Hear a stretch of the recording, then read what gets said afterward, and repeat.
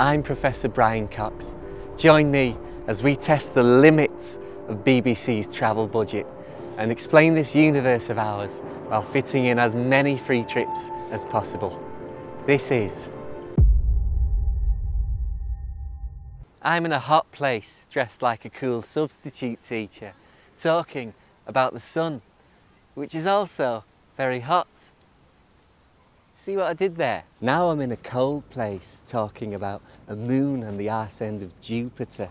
And I might even mention the importance of water, but I don't say water, I say H2O, because I'm an expert. Cut to spectacular visuals of some of the galaxy's largest entities, such as stars, black holes, and the egos of billionaires. Now for a metaphor even you can understand. If my mouth is a black hole and these cans are matter, then in a few hours I'll be more smashed than an atom in the Large Hadron Collider. Join me next time when the budget finally runs out and I ponder the existence of alien life. Thing is, if we do meet aliens, they'll just think we're assholes.